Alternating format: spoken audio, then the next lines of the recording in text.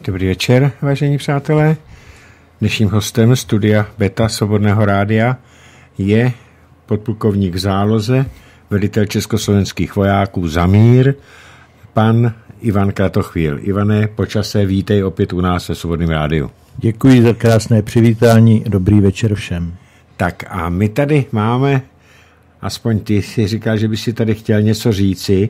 Já už jsem o tom hovořil, ale připomeneme si to ještě jednou. Ivane, eh, prosím tebe, je ten dnešní úvod trošku jiný, ale já si myslím, že je to velice důležité, tak prosím. Pro mě osobně to důležité je, a já ti děkuji, že jsi mi to umožnil. 19. února eh, zemřel člověk, kterého jsem si strašně vážil, Tomáš Kopecký.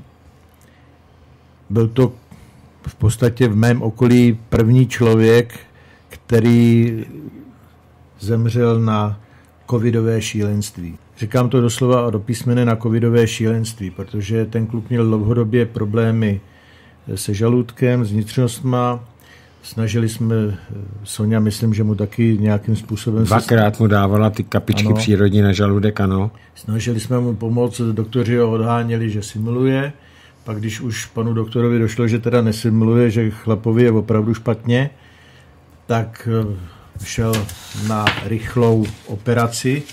Bohužel eh, v předoperačním vyšetření, den před operací, mu zjistili pozitivní test a to si uvědomíme, že pozitivní testy jsou ze 60% klamné, tak na základě této pozitivity mu od, odložili operaci a on už se té operace nedožil. Takže díky té pozitivitě Tomáš Kopecký zemřel. zemřel. A já jenom chci připomenout, Ivan to ví taky, protože Tomáš byl stejně tak jako jeho přítelkyně Lenka, byli pravidelnými účastníky eh, našich setkání rodiny a přátel Svobodného rádia. Od samého počátku tam vždycky byl. Ano. A možná si ho pamatujete, eh, jeho přítelkyně byla taková hubenionká, štíhlonká holka a on byl, nosil hodně často na sobě, na, hlav, na, na hlavě, na čele, na čele eh, ty brýle sluneční, ale ty zrcadlovky takový. Takže Eh, já už jsem o tom jednou hovořil a ještě jednou chci vzdát s Ivanem společně čest našemu kamarádu a je mi hrozně líto, že už ho Neuvidím. Eh, na příštím setkání Svobodného rádia neuvidím. Tak a Ivane, ty uveď ještě to, co se bude teď následovat. A eh, my jsme se s Lenkou domluvili, že požádáme Vladimíra, jestli by to bylo možné, aby se pustila písnička, která Tomášovi vždycky pomáhala, když mu bylo away. Takže tuhle tu písničku, a proto jsem říkal, že dnešní pořad má začátek poněkud jiný, tak tahle píseň, vážení přátelé, není jenom pro vás, ale je především tam nahoru našemu kamarádovi Tomáši Kopeckému a doufám, že bude mít někde tam radost, když se tam na nás ze zhora dívá. Tak. Tomáši Kopeckému bylo 46 let a zemřel díky šílenství s covidem. Tak, děkuji, Vladimíre. Nemáš za co vůbec ne, protože my jsme ho znali taky. A já si to jako domnívám, Ivane, že vzdát poctu lidem, dobrým lidem, kteří se to stojí, tak patří k takovému nepsanému zákonu všech slušných lidí a vlastenců. To máš pravdu. Takže asi tak. A jestli nás posloucháš, Lenko, rád tě uvidím, jestli se nám podaří uspořádat zase další sraz, tak bych se s tebou zase rád viděl. Vážení přátelé, tak to bylo netradiční, netradiční začas zahájení dnešního pořadu.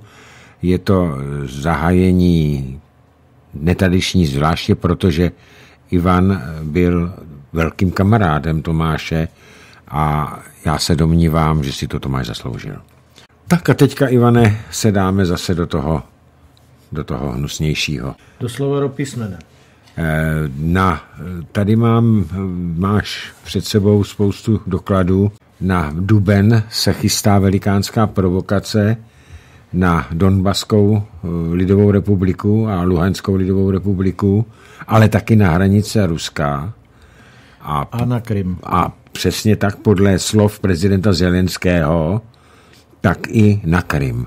Eh, jak to vidíš, jak to vidíš a co tě k tomu vede, k tomu, k té obavě, že by mohlo vypuknout něco, něco vošklivého? Není to obava jenom moje. To já vím. Nicméně já jsem si ty spoustu věcí takom vytisk a přinesem ty obrázky, které teda lidi nevidí, abychom ani opět neujeli. Vycházíme z materiálů, které jsou veřejně přístupné, takže pokud někdo bude chtít nějakým způsobem Vladimíra brát k zodpovědnosti, tak předesílám, že všechno máme na papírech, co tady říkám, připravené. Z veřejně dostupných zdrojů. Z veřejně dostupných zdrojů. Ano. Podle vyhlášení velitele amerických vojsk v Evropě, pana generála Christofra Kavoliho, v Dubnu začne největší cvičení všech dob, jaké na to kdy zažilo. No, Uvádí tady čísla, že to bude 30 tisíc vojáků, spousta techniky. Ze 26 eh, států zúčastněných na tomto cvičení, tady píše. Ano. E, takže dál jenom, že tam budou, e, že tam budou 30 různých zbraňových systémů a bude to zúčastněno na území 12 12 Länder stat jo, na území 12 štát, států, států celku. No. A jeden z těch států je i Slovensko. Tady máme další takový dokument, že už se tam ty američani cpou, i když je lockdown, tak na ně to neplatí. Jistě, na ně neplatí v podstatě vůbec nic. Oni jsou imunní vůči všemu. To, že za prezidenta Trumpa se podařilo loni cvičení zarazit a udržet ho v rozmezích, které bylo akceptovatelné i pro druhou stranu, protože uvědomme si, že když vojáci někde cvičí, a je to opravdu cvičení toho daného státu, tak se cvičí tak, aby se nikdo ze sousedů necítil ohrožen. To zná vojska, když se dají do pohybu, tak se pohybují od hranic do vnitrozemí. Jo, v těch, v těch jednotlivých e, místech, kde se cvičí. Dál cvičení, pokud jsou to cvičení velkého rozsahu, tak je tam spousta pozorovatelů právě z těch zemí, které jsou okolo, aby všechno bylo čistý, jasný, aby ty se necítili ohroženi a náhodou nespustili válku v domění toho, že se na ně valí prostě armáda vyzbrojená, připravená. Nicméně cvičení, které eh, bylo prováděno loni na území pobaltských států, tak se nepohybovalo od hranic Ruska směrem k, k Baltu, ale naopak. Hmm, hmm, hmm, hmm. Ty v podstatě loni to byla, můžeme říct, taková generálka na válku. Ano, nácvik nástupu útoku. Ale to, kdy ani Rusové nevěřili, jestli se zastaví na hranici nebo, nebo nezastaví. Když si vzpomenete, vrátíte se ten rok zpátky, tak bylo spousta politických vyhlášení, kdy Rusové jednoznačně řekli, že jediný náboj, jediný voják přes, překročí hranici a oni budou vracet úder. A protože jsou slabší, ty údery budou jaderné. Oni to přímo řekli takhle ano. Na, na plná ústa. Takže ta situace je e, v podstatě divoká. Rusům v podstatě nic jiného nezbývá. Si uvědomte, že Rusko má nějakých 150 milionů obyvatel. 160. 160, dobře. Když si k tomu připočítáme, Bělorusko je kolik? 15, 20? Tak nějak okolo 15. A stojí proti ním v podstatě celá Evropa, tak jak stála za Hitlera, tak jak stála e, za Napoleona tam je několikanásobná převaha. Evropa má kolik? 350, 360? 550 milionů 550 lidí. milionů obyvatel. Jinak on tady ten generál píše, že se tam bude zúčastňovat 26 národnostních stát, teda státních těch eh, národních Národní nation. států. No. Hmm. Nation to je stát nebo, no, no, nebo no, státních vojsk, teda tak. 26 národů se tam, nebo států se tam zúčastní. Tak. A k tomu já mám tady krásnou mapku, kde je pěkně v podstatě rozkresleno, jak kdo bude útočit. To, jsou, to je v podstatě plán operace, který vychází eh, z, z plánovaných operací, tak jak jsou veřejně přístupný na velitelství v Ramštejnu. Jo? To, na Bělorusko jsou tak. tam červené šipky. Kolem dokola. Jenom dovol. No. Mě zaráží, Ivane, na jedna věc. Tady právě na této mapce, na té, na té situační mapce, tam je jeden, dva, tři, čtyři, pět, čtyři ze šesti směrů nasměrované šipky útoku na Bělorusko. Ano. Bělorusko. Proč na Bělorusko? Z jednoho jednoduchého důvodu. Na Bělorusko by měli útočit eh, neamerick, neamerické vojska. Neamerická hmm, vojska. Hmm, jo? To je to, ta červená šipka. Bělorusko je v úzkém hospodářském eh, sepětí s Ruskem. To znamená, útok na Bělorusko je útok na ekonomickou stabilitu Ruska. Ale i vojenskou, oni mají i vojenskou Oni mají i vojenskou spolupráci samozřejmě, hmm. ale není to útok na Rusko. Hmm, hmm, jo? Je to útok na Bělorusko, ne na Rusko. A neprovádili by ho američani, ale... Především Poláci. Především Poláci, přesně tak. Především Poláci, ale tam bychom si smočili my, smočili by si tam i Slováci. Ano. A Aby se tam namočilo právě co nejvíc slovanských států. států. Tak. To je důležité říct. Jo? Ta úloha na Bělorusko je v podstatě úloha pro nás, pro satelity. Ano, ano, jo? ano. Co se týká pobaltských států, ty by tam působily taky, ale jejich úloha je především působit směrem na Rusko. Jo?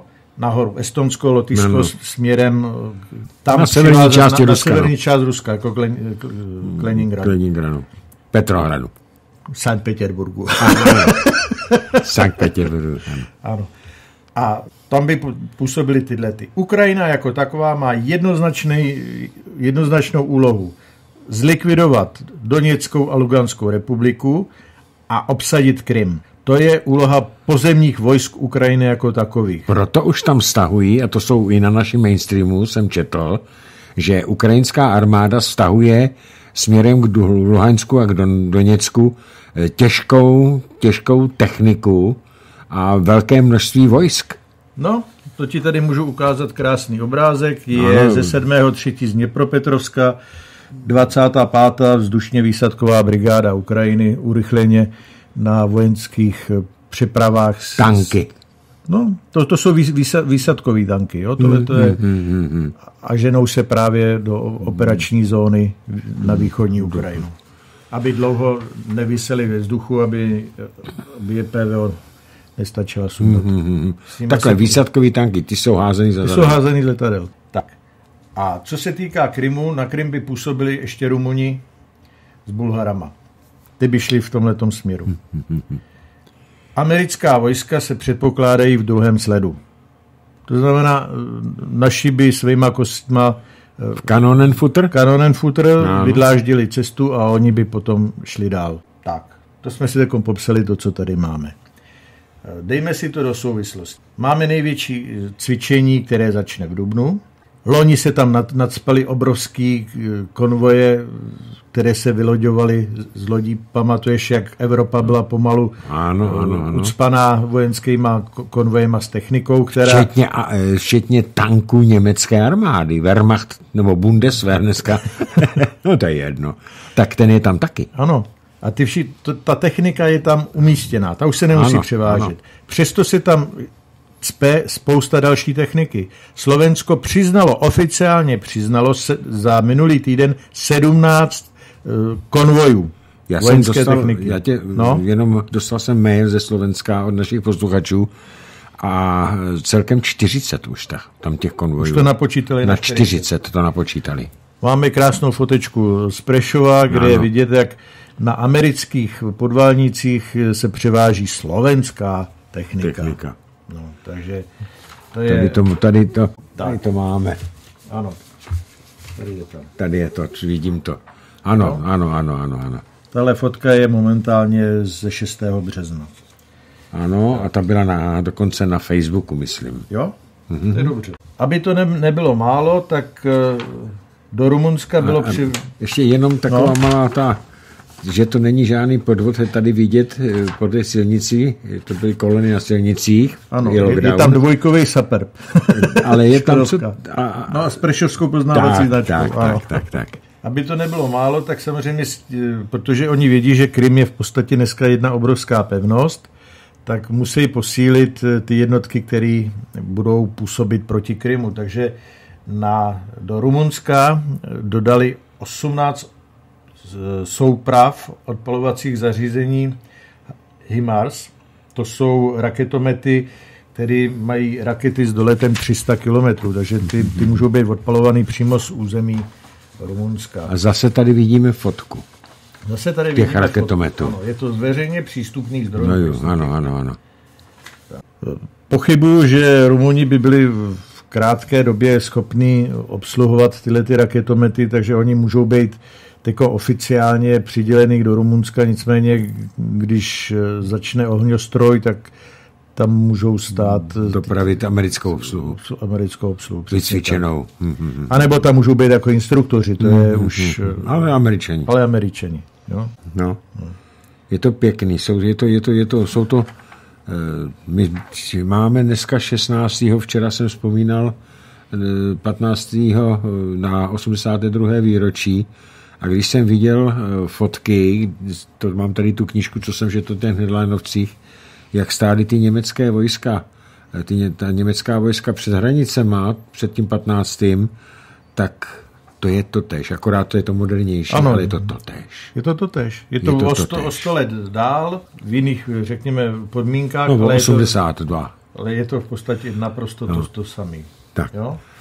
K tomu, když si vememe, že o nasazení příslušníků aktivních záloh se bude rozhodovat, což je eh, takový, eh, řekněme, balónek vypuštěný eh, od ministerstva obrany, že očekávají co nejdřív vlastně povolání aktivních záloh do služby. Samozřejmě z důvodu zvládnutí covidové ano, situace. Ano, ano, ano. Jo? Kdo jezdíte po silnici, víte, že na silnicích stojí většinou jeden policista a s ním jeden, dva vojáci s červenými barety. To červené barety jsou výsadkáři, průzkumáci, tyhle ty speciální jednotky. E, neviděl jsem nikde Možná je to jenom optický klam, že by tam byli vojáci pravidelných jednotek. Hmm, hmm. Tyhle speciály na těch silnicích můžou být vel, velice rychle, tyhle kluci můžou být nahrazeni právě aktivníma zálohama a oni, protože oni jsou schopni se rychle přesunovat, to není, oni jsou na to cvičení, ano, tak, ano. takže ty, ty se vemou a, a druhý den jsou na druhém konci země hmm, koule. Hmm, hmm. Takže tady vidíte, že ten pořádek, který se vytváří na našich komunikacích, aby nikdo nikde nejezdil, aby komunikace byly volné, aby se vojenské eh, transporty mohly, mohly volně pohybovat po našem území, tak je to velmi dobře připravený. Je to, musím v tomto směru pana Metnara pochválit. Je vidět, že se poučil z té, z té ostudy, která se nám povedla udělat při posledním průjezdu konvoje amerického, to, kdy jsme ucpali D1, takže tady je odpověď, že v podstatě udělali tak tvrdý lockdown, aby jsme v podstatě ty tepny komunikační, aby jsme je uvolnili. A to odpovídá to, co, tomu, co si říkal před vysíláním. My už jsme se dočetli, aspoň já jsem se dočetl, že to uvolnění toho lockdownu mezi těmi okresy vůbec nebude e, uvažováno na Velikonoce naopak. A dokonce jsem četl, že v rámci toho úspěšného boje proti té e, pandémii, takže není vyloučen lockdown až do toho dubna. A ejhle, ono v dubnu On ten to lockdown nebude jenom do dubna. Ten lockdown podle Eh, řekněme, signálů, které kolem mě krouží, by měl být až do června.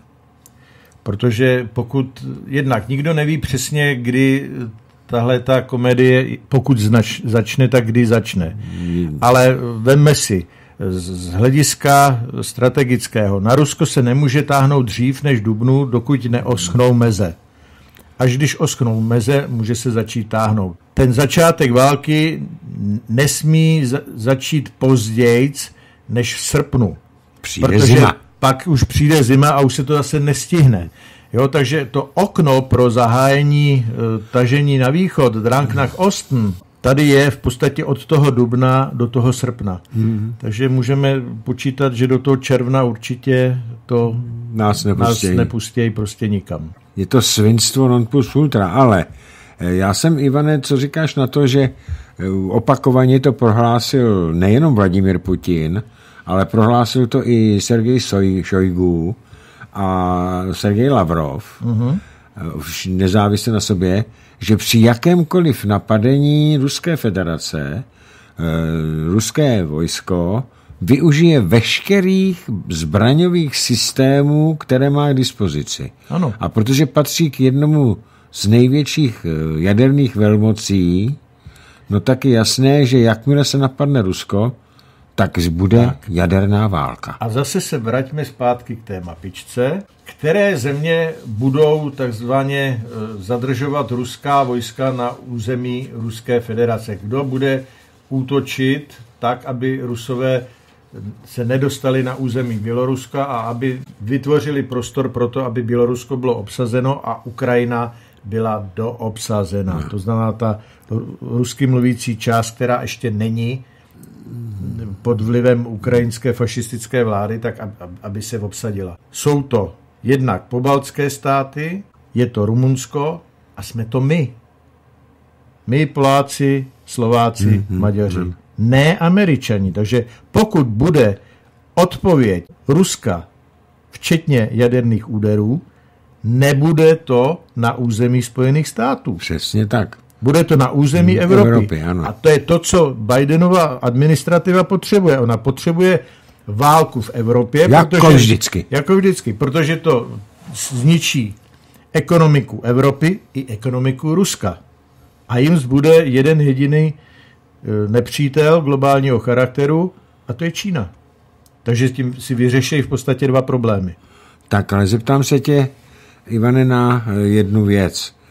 E, víme o tom, že Čína, Xi Jinping a Vladimír Putin podepsali na 33 let, už je to asi 2-3 roky zpátky, uh-huh. vojenskou a obchodní smlouvu o spolupráci. Zeptám se tě, znamená to, tato smlouva, že to je něco podobného, jako, má, jako smlouva uzavřená mezi Čínou a Iránem, kde, jsou, kde je přímo uzavřená smlouva o vojenské pomoci. Platí ta smlouva e, i u, mezi Čínou a Ruskem? Nejsem diplomat, nečetl jsem to. Nicméně Čína má svoje zájmy e, v Tichomoří, má svoje zájmy e, tam na těch umělých ostrovech v Čínském moři takže pro Čínu momentálně největší soupeř je Tichomorská flotila Spojených států. Čína potřebuje eh, vrátit zpátky do své náruče Hongkong a Taiwan a nějakým rozumným způsobem eliminovat eh, Pákistán a Indii, se kterými, o čem se nemluví, se kterými si vyměňují eh, názory a a, a dělostřelecké granáty nahoře v Himalájích. Ale to je Pakistán a Indie. A Čína. Čína taky? Mm-hmm. To jsem nevěděl. Tam si, tam, tam, tam si Bořivá polivčičku. Bořivají polivčičku všichni tři. Takže eh, nepředpokládám, že by Čína šla vojensky do Evropy. Hmm. Jo? Na pomoc Rusku asi ne teda. Ona jí může pomoct technologiemi, ona jí může pomoct informacema, Eh, kosmickým průzkumem, jo, prostě tím, čím může, ale může jim pomoct tím, že budou vázet americkou tichomorskou flotilu, což je taky obrovská pomoc. A nezapomeň, že je tam nepotopitelná letadlová loď eh, eh, Japonsko, která, které je od války pod jednoznačným americkým velením, takže s tím Čína prostě musí počítat. Takže ano, Čína může Rusku krýt záda hmm. na Dálném východě. To znamená, já jsem nedávno i četl to, že se uvažuje, že s, e, nějaká flotila vojenských lodí, teda těch menších, nebudou tam ty admirál Nimitz a po, po, po, ostatní obří letadlové lodě, že by se měly některé z nich přesunout, část té flotily, e, by se měly přesunout ve větší míře do Černého moře. No ta snaha samozřejmě je, protože Krym je alfa a omega geopolitické rvačky o Rusko. Pokud Rusko ztratí Krym, tak ztratí 50% své síly a své politické moci na geopolitické scéně. Přestože Rusko není plně suverénní. Není. Ale už je natolik silné, že už má prostě, že už je takovým terčem. Nicméně, no? Tam je, Ivane, další průser. A to, že v Oděse, ukrajinské Oděse, si přebudovávají, protože Oděsa a Sevastopol to byly dvě námořní střediska eh, Sovětského svazu v Černém moři.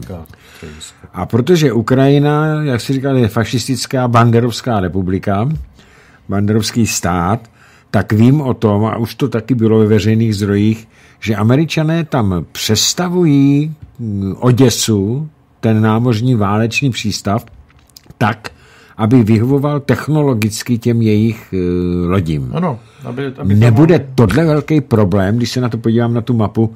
Oděsa je od Oděsa je kousek. Kousek právě. Oděsa je kousek od Sevastopolu. Tam se dostřelí. Jo, a doletí. No. Jo. Jako ze strategického hlediska jsou pro eh, zahájení války proti Krymu lepší přístavy v Rumunsku než Oděsa. Každopádně eh, teď nevím, nakolik je moderní infrastruktura v rumunských přístavech a v Oděse, ale Oděsa je šíleným způsobem zanedbaná. Protože od převratu Majdanu v podstatě se na Ukrajině jenom krade hmm, hmm, hmm. a že by se něco investovalo, něco budovalo, nevím o tom. Neslyšel jsem o tom. Proto taky ztratili zhruba asi třetinu svého obyvatelstva, pro který to se rozeběhlo. Ano, do, ano. Buď do Ruska, nebo do Evropy. Navíc, navíc jsem se dočetl, že Oděse jsou velký protesty proti vládě, právě kvůli tomu ty přítomnosti těch Američanů tam, takže ty Ukrajinci žijící tam poblíž ty Oděsy, tak se tam, se tam bouří proti té přítomnosti. No samozřejmě, protože Oděsa je takový národnostní pelmel, jako je Doněck. Jo, ta Oděsa z hlediska toho, že to je významný černomorský námořní přístav, no Doněck s tím, že to bylo ocelové srdce eh, ruského impéria, Sovětského svazu, prostě to, to, to, to tam je, takže tam se to stahovalo v podstatě z, celý, z, z celého impéria. Mm-hmm. Takže to, to samé je v Oděse. Oděsa byla vždycky svébytná. Kdo byl z Oděsy, byl vždycky jiný, ať byl v Rusku nebo v Ukrajině. Prostě Oděsa, fakt, jako, kdo byl z Oděsy, tak se na něho koukalo no, trošku skrz prsty. A kdo byl to. ze Sevastopolu? Kdo byl ze Sevastopolu, tak to byl jak nebo námořník. Ale tam byli civilové přeci taky. Sevastopol byl postavený jako Sevastopol.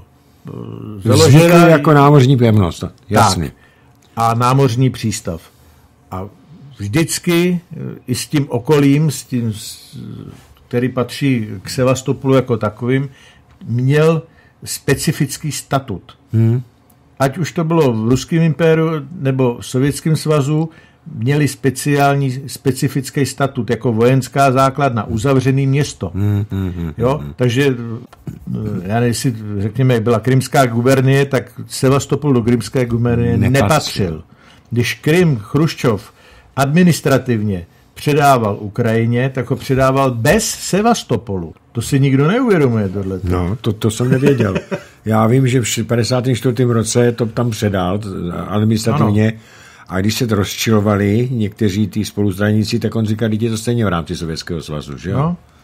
Ale, Ale bylo za, to svinstvo. Za, bylo to svinstvo, zadělal s tím obrovský problémy problém do budoucna. Eh, Ivane, ty máš známé na Donbasu. Eh, na Donbasu teďka se zase rozvířila válečná aktivita. Zase se tam začíná střílet, zase se začínají dopadat granáty z eh, ukrajinských děl na obytný, na obytný města, vesnice. A myslíš si, jako by nebyla Minsk 1, Minsk 2. Eh, je ještě vůbec v platnosti, nebo je Minsk ty dohody mrtvý? Minsk je oficiálně v platnosti pořád. Na základě Minska se dá uzavírat eh, nějaká jednání a můžou probíhat nějaké rozhovory furt je lepší, když se budou diplomaté hádat, než když budou vojáci umírat. Takže Rusko uměle drží tuhle tu platformu při životě, aby se mohly případné vojenské akce zastavit a mohlo se to řešit diplomaticky. Nicméně, na rozdíl od těch prvních začátků, kdy na Donbase vytahovali uloženou techniku, kdy eh, lidi svými těly zastavovali tanky a vysvětlovali osádkám, že eh, jdou proti Ukrajincům, no dobře, mluví rusky, ale všichni Ukrajinci mluví rusky, tak co, co, co, jako. Mm-hmm. Což v začátku jich takové věci byly. Tak dneska na straně Doněcké a Luganské republiky stojí naprosto moderně vybavená, velmi dobře vycvičená armáda. A odhodlaná. Která je, ano, odhodlaná, která už má plný zuby toho, hmm. že neví, jestli se vrátí domů a najde tam manželku s dětem. Hmm. Armáda Doněcké a Luganské republiky je v plné bojové pohotovosti. Od neděle. Hmm. Všechny eh, v podstatě znaky, které eh, se dají zjistit z kosmického průzkumu, ze vzdušného průzkumu, z radiotechnického průzkumu, ze spravodajského průzkumu, to znamená z internetu a z dalších zpráv, všechno nasvědčovalo tomu, že v pondělí ráno tento týden začne útok směrem na Donbass. Včera. Včera. Ten útok nezačal. Nezačal, ano, já jsem se to nedočetl nikde. Nicméně ta, to nahuštění techniky z ukrajinské strany je nesmírný. Ukrajina porušila všechny věci, které OBS, no, které jsou v těch, minských domluvech domluveny. Dokonce, teď nevím, jestli to bylo v pátek nebo v sobotu, se střelili bezpilotník OBSE, který kontroloval rozmístění vojsk v tom pásmu. Ukáčka. No, ukáčko. v hluboké v tak hluboké, v tak velké vzdálenosti od té linii, mm-hmm. že se nemůžou vymlouvat, že to udělala druhá strana. Mm-hmm. Pravděpodobně si střelili ne, ne jako aktivním prostředkem, ale že ho vypli. Jo, jo, že jo, to jo, byl jo. prostě elektronický úder. A co je, řekněme, ještě o čem se moc nemluví, nejen, že jsou připraveni zautočit tímhle směrem, ale tak, jak jsou vojska postaveny, jak mají postaveny uh, svoje prostředky, tak to vypadá, že současně se počítá i s úderem na Krym. Oni by přes ty... Krym je sice poloostrov, ale tam má v tom krčku tam jsou průlivy, hory. Hmm, ano, ano, jo, je to ano, špatně, tam přes to most. Tak, je tam špatně... Průliv Kercký. Ne, o tom nemluvím. Mluvím o tom mezi Ukrajinou a Krymem. Jo, mezi Ukrajinou a Krymem. Jo? Jo, jo. Kde je ten pevnic, pevninský... Eh, Část toho poloostrova. Tak, tak tam je to dost hornaté, takže mm, se to dá mm, dobře bránit. Nicméně i tam je velké soustředění vojsk. A v souvislosti s tím, co jsem ti ukazoval tady, ty raketomety, ano, ano. To, tak je to jednoznačně vidět, že ten pěšák, ten ukrajinský pěšák půjde nejenom proti Doněcku a Lugansku, ale i na, eh, na Krym. Ale tam ještě je jeden problém, ne jeden neurologický bod, o kterém jsem se bavil s Martinem Kratochylem, on řekl, že neubranitelný z hlediska Kolera. Ruska. Uh, co jsem říkal? Kratochylem. Kolerem, pardon. uh, Kaliningrad.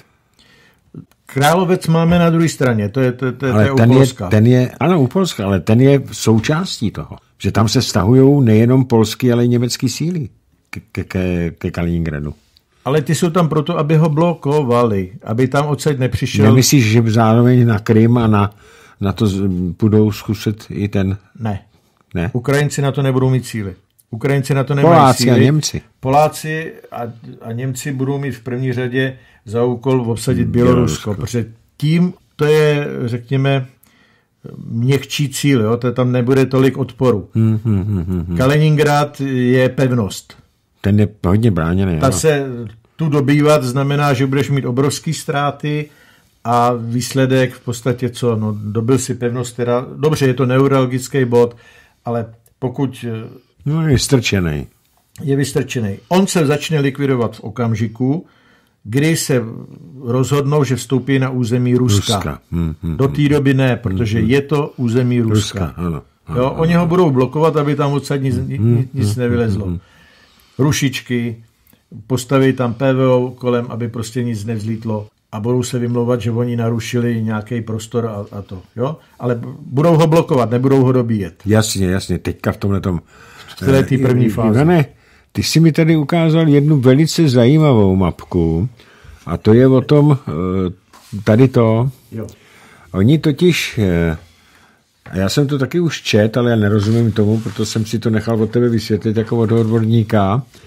Oni totiž, ty rusové mají takový zařízení, že jim tam vypnou veškerý navigační přístroje. Zkusili to už udělat před, před lety, před několika lety u toho jejich torpedoborce eh, James Cook. James, James Cook. Ne James Cook. Jo? Nebyl se jmenoval, se jmenoval jinak. Cook, Donald Cook. No to je jedno, Cook. Ne, nebudu se Cook, Cook to byl, no. James Cook byl kapitán teda námořník anglický, jo, takže... A eh, v podstatě ty ty ho museli otáhnout, jo. Eh, nemyslíš, že tam v této oblasti ty rusové budou tyhle ty zařízení, já nevím, jak se to jmenuje? Samozřejmě, že budou mít. To, co jsem A co, to, co to znamená, tohle zařízení? Jak to funguje? Tohle to, protože víme, že nám tady naši naťáčci, eh, kamarádi a soudruzi připravují tuhle válku, tak ono se to samozřejmě někde zkouší. A eh, v noci z 9. na 10.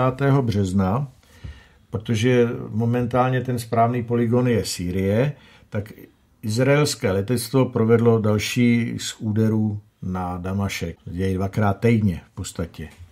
Nicméně tentokrát eh, už eh, Rusům došla trpělivost a postavili tam eh, prostředek radioelektronického boje Krasucha z nejvyšší pravděpodobností, která v podstatě eh, na území, který tady vidíš, což je v podstatě celý, nebo tři čtvrtiny Izraele a půlka Sýrie, hmm. tak eh, pokryla svým signálem tohleto eh, území a na tomto území nefunguje žádná GPS.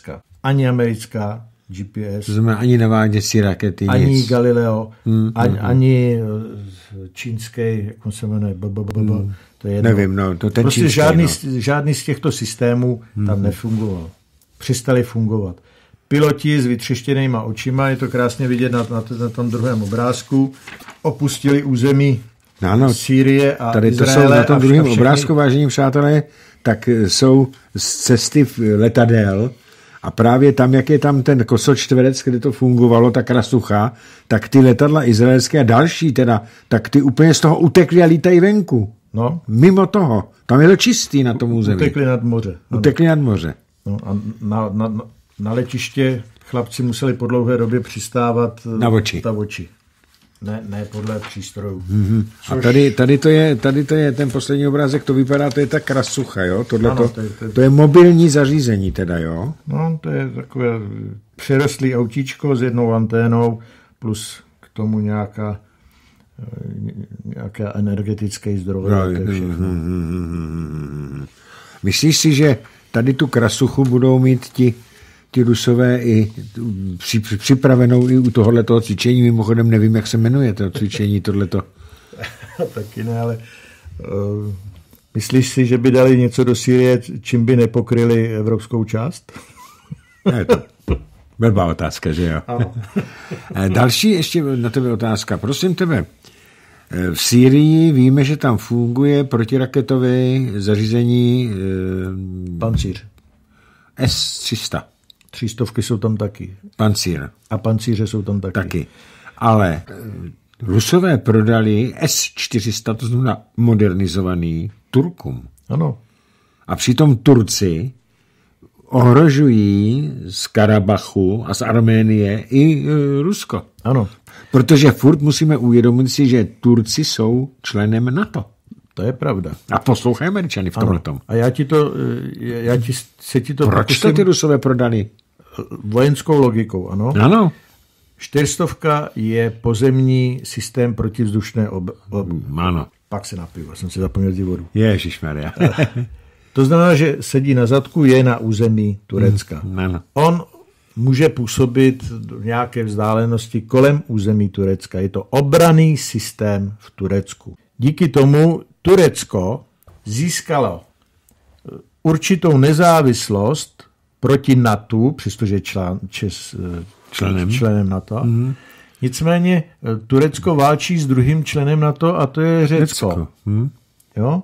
Takže Turecko se snaží vytvářet vlastní politiku.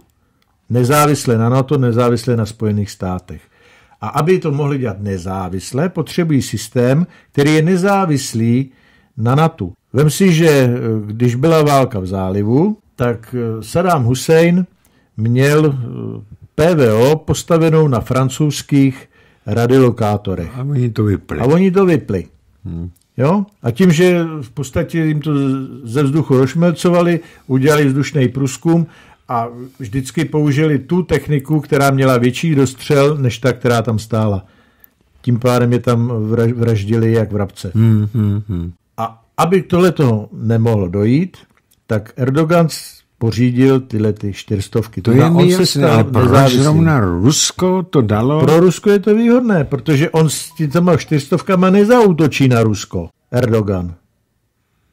To je obraný systém území. Ale, tak oni mají něco modernějšího teda v tom případě. Jednak mají něco roz, modernějšího a, a jednak zase, eh, když by Turecko útočilo na Rusko, tak Rusko může tyhle ty čtyřstovky vypnout.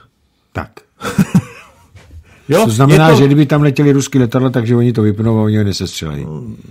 Tak a, jo, laicky řečeno. Laicky řečeno, ale Rusové nemají důvod. No jistě, já vím. Jo, ale... Protože pokud, hmm. jak říká Valery Pjakin, se z Turecka stane eh, anatolijský federální okruh Ruské federace, tak k tomu nedojde vojenskou cestou.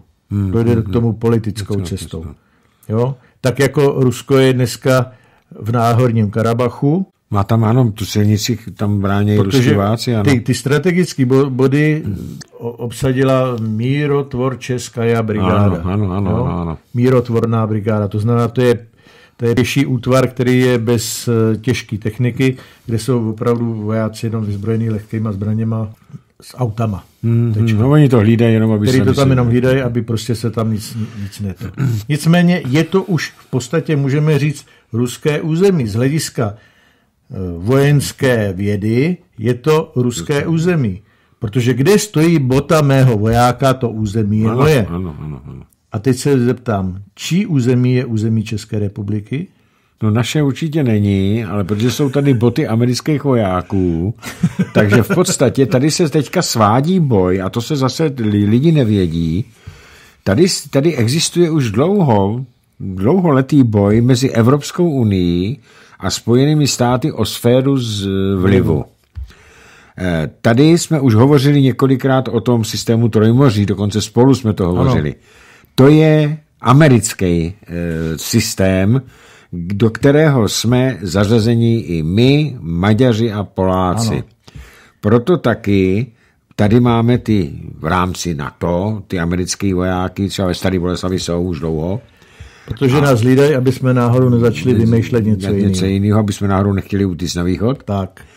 A e, to znamená, že oni chtějí odstřihnout tak co největší moc Evropské unie a ta se tomu pochopitelně brání. Největší, co říkáš na to, Ivane, jak se teď dostal do střetu americký prezident Biden, ten, no tak on to není, to je jenom figurka, že jo, a Merklová, kvůli Nord Streamu 2. No to, to je jednoznačný, protože... Ty se tomu brání Němci. V okamžiku, v okamžiku, kdy se dostaví Nord Stream 2, tak se utuží ekonomické spojenectví, řekněme takhle, nebo spolupráce mezi Německem a Ruskem. Německo si výrazně zlevní plyn na svém území a američani přijdou o kšeft. A o obrovský kšeft a obrovskou sféru vlivu. Je to další ústup z Evropy američanů. A to, tahle ta eh, skupina mocinská, která momentálně je u moci, co, co tam posadila Bidena, mm. tak pro ně je to nepřijatelný. Oni potřebují, aby Evropa zhasla spolu s Ruskem, aby oni to tady zase mohli takzvaně obnovovat a mohli nás pořádně vysát. Marshallův plán. Marshallův plán. Takže Když začneme, zase se vrátíme trošku na začátek, té mapce, co jsme začali, tak můžeme říct, že pokud to začne, tenhle ten obrovský ohňostroj v dubnu nebo v květnu, prostě, ale od dubna je inzerován. Je tam, ano, já jsem to čet. Tak můžeme čekat, že přes naše území budou pokračovat přesuny amerických vojsk, které by měly, řekněme, tlačit ty naše útvary k tomu, aby splnili svůj úkol. Aby se nechali zabít. Aby se nechali zabít. Kromě toho, k těm přesunům už dochází i dneska.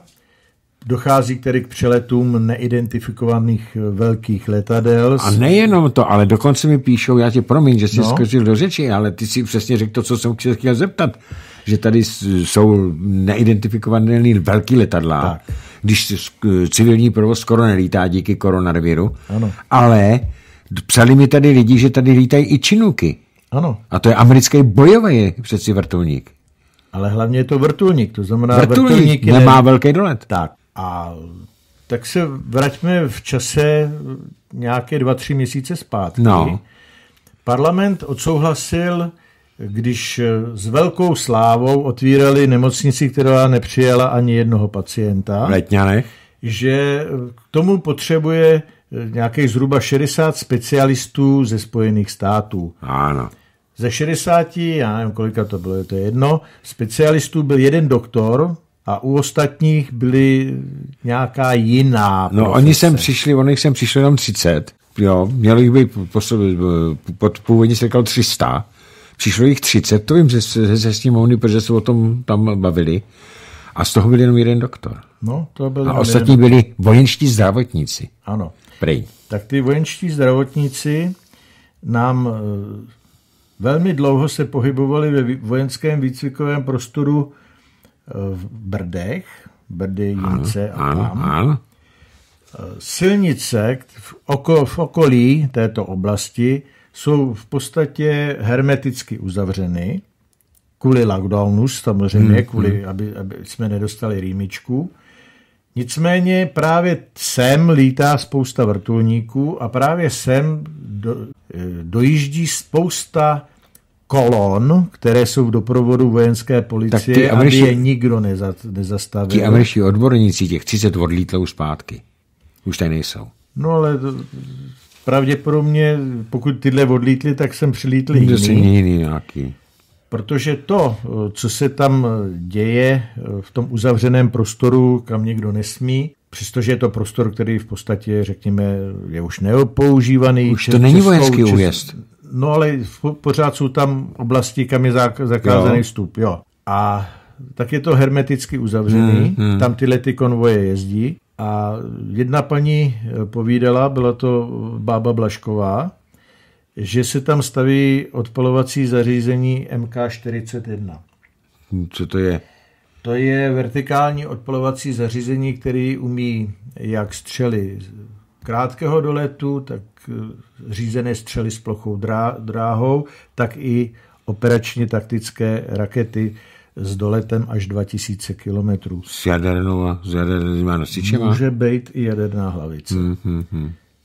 Takže eh, je to informace, která je hodně utajovaná, která pravděpodobně bude asi eh, z říše snů, nicméně bych chtěl požádat, protože se nám blíží hodina dotazů, kdyby, pokud někdo má nějakou informaci k tomhle tomu, aby se nám ozval, protože by mi to strašně zajímalo. V oblasti Brdu. V oblasti Brdu. To je, co se týká lidí, co bydlí v Čechách. Hmm, hmm, hmm, hmm. Zaregistrovali jsme, že nám začínají sedat velké dopravní vojenské letadla Spojených států do Kunovic. Je to nelogické, ale pak nám došlo, že e, ve vojenském výcvikovém prostoru Libava se dějí podobné věci. Hmm, hmm, Takže je možné, že i tam se něco podobného buduje. Eh, co to pro nás znamená? Pamatujete si, jak jsme pět let, šest let zpátky protestovali proti americkému radaru, který ano, stát Brdech? Ano. Protože je to cíl číslo jedna ano. Pro odvetný úder. Jaderný odvetný ano, úder. Ano, pamatujeme samozřejmě. Tak teď to tam mám. Dokonce jsem kvůli tomu byl na demonstracích. ano, já taky. Takže to tak vypadá, že pravděpodobně bez toho, aby se kdokoliv čehokoliv zeptal, tak se nám co si rodí v těchto velkých vojenských újezdech. A zeptám u se toho, tě... u, já to ještě dopovím, u té Libavy nám bylo divný, proč jako Kunovice a ne Ostrava Mošnov, hmm, který, hmm, který je kousek tam odsaď. No, jenomže, je... jenomže Ostrava Mošnov je veřejný letiště, hmm, hmm, hmm, když to hmm, hmm. Kunovice ne. Aha. Takže Jasně, tam v Kunovicích nemůžu... tam to, to uzavřou a nikdo neví, co, co se tam přivezlo. Eh, poslední otázka před tou přestávkou. Eh, myslíš si, že o těchto těch věcech, o kterých tady hovoříš, by měli vědět eh, poslanci braného výboru parlamentu České, teda sněmovny parlamentu České republiky? To jsou tak závažné otázky, že tyhle ty věci by se měly projednávat v referendu. O tom by měli Ale ne, vědět, jestli o tom... Jestli podle zákona musí o tom vědět poslanci. Jestli o tom poslanci nevědí, tak je to opět porušení ústavy. No nejenom to, ale to by byla úplně utajovaná eh, operace, o které by nevěděli ani, ani zákonodárci. A proč by o tom měli vědět? No právě to proto... rozkecali. No právě proto se tě ptám, protože já teď, když se tady povídáme, tak já se hodlám oslovit eh, místo předsedu braného eh, výboru parlamentu nebo sněmovny, pana Radovana Vícha, a na tyhle ty věci se to zeptám, protože od něj jsem se dozvěděl, že tady ty takzvaní doktoři, že si tady užívali tři neděle e, luxusu, který jsme mi platili, výletu a já nevím co ještě, a pak aniž by něco udělali, oni samozřejmě jezdili na, na akce, o kterých se nevědělo, že jo, to je to, co si říkal, ale oni by dali v hotelích luxusních. No samozřejmě. A to, to jsme všechno platili my samozřejmě. No a pak jsme odjeli zpátky do Německa, aniž by se cokoliv tady kvůli tomu koronaviru dělo. No. Takže úplně bylo vidět, že to je jenom záminka a bombardování lidí. Zástěrka. Ano, ano, jo? ano. Protože prostě něco se projednalo, něco tam bylo. Říkám, je to z informačního zdroje stará bába Blašková, hmm, hmm. proto bych strašně chtěl, aby někdo, kdo má tyhle ty věci, bydlí tam nebo může k tomu něco říct. Zkušenosti, aby, zkušenosti osobní, aby, aby to řekl. Aby se protože je to příliš závažná hmm, informace hmm. k tomu, protože to z nás dělá v podstatě cíl prvního úderu. Ano. A to o tom, prosím, mluvil i Sergej Lavrov, protože říkal, že musí v tomto situaci zaměřit na svůj odvetný úder na všechny nepřátelské státy, to jsou státy NATO, mezi nimiž bohužel figuruje i Česká republika. Ano, protože si o to přímo říkáme. říkáme. Tak vážení přátelé, to bylo povídání, eh, první hodina povídání s Ivanem Kratochvílem a eh, my si teď dáme čtvrt hodinky přestávku. Ivan už tady lape po dechu, protože si zapomněl vzít pití sebou tak aby, aby nám tady neumřel s jízdním. A ve čtvrt na devět eh, se budu těšit na slyšenou. Už vidím, že píšete SMSky dotazy, takže ve čtvrt na devět budete moct i eh, volat otázky na Ivana Kratochvíla. To bylo od nás všechno a my si teď dáme tu, tu vodu a tu čtvrt hodinku pauzy. Tak máme po přestávce. A já tady ještě jednou vítám Ivana Kratochvíle. Ivane, ahoj. Ahoj, dobrý večer všem. Tak a e, my se asi dáme, já se podívám, kolik máme dotazů, takže mám jich tady hodně, takže já se dám teďka hned do SMSek, zapínám telefon, tak a teď už se do toho rovnou můžeme dát, aby to stačilo všechno zodpovědět. Tak. Dobrý večer, pane předsedo. Probíhají jednání pomoci, s pomocí Vandasem který se vyslovil pro neúčast ve volbách. Ježíš, to je, to je ještě ke včerejšímu pořadu, tak to ne. Tak to ne, to je 15. března taky. Já jsem to tady zapomněl vynulovat. Tak, tenhle ten je tady. Pane Vladimíre, pane Kratochvíle, já mám super kamaráda Tomáše Kopeckýho a stejného věku i přítelkyni Málenku, Slovenku. Ne, ne, že ne, Tom z Karlových Vár. Tome, ano. Je to tak. Je to tak. Přesně ten je to, o kterém jsme mluvili. Má Lenku, je to Slovenka no. a Tome z Karlových Vár, je nám to líto, ale je to tak. Vemu telefon. Dobrý večer, slyšíme se?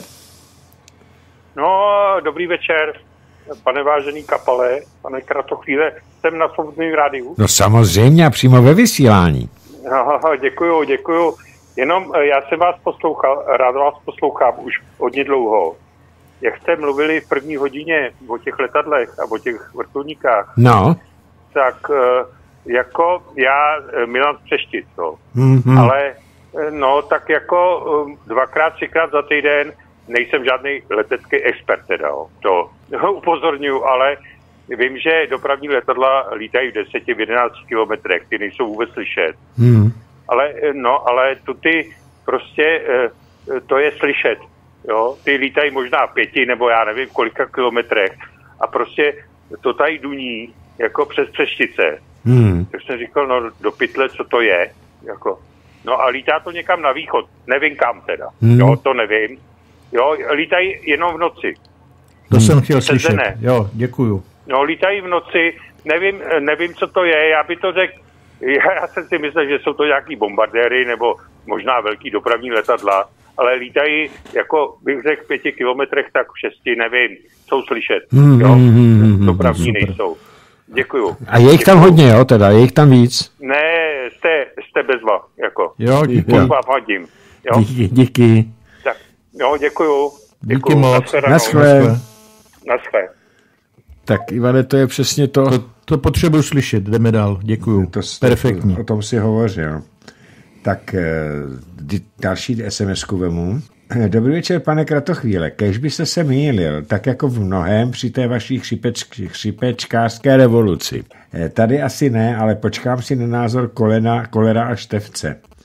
Objednám tedy pro jistotu konečně u Ringa ten obraz osvobození Prahy čínskou lidovou armádou, o čem jsem už další dobu uvažoval. Tak zdravím z karantény na hranici okresu, na což pes nedbá a již porušil tak za půl, tak za půl mega.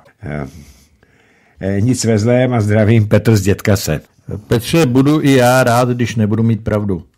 Tohle ty věci, právě proto jsem to skládal tak, aby bylo jasné, že jenom skládám informace, skládám fakta.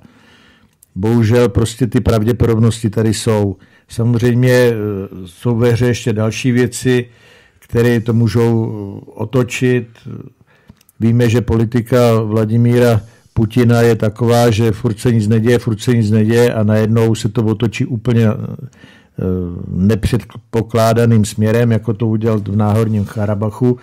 Takže eh, říkám, naděje umírá poslední.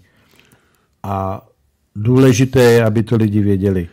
A když už jsme u toho skládání, Ivane, tak eh, si vezmeme další dílky do skládačky, do ty, do ty pucle. Ano. Byl, byla snaha o Majdan v Bělorusku. Ano, nepoved se. Nepoved se. Byla snaha o Majdan v Rusku přes Navalnýho. Ano. Byly tam protesty, jsou tam pořád. Ne, ne, nepojď se.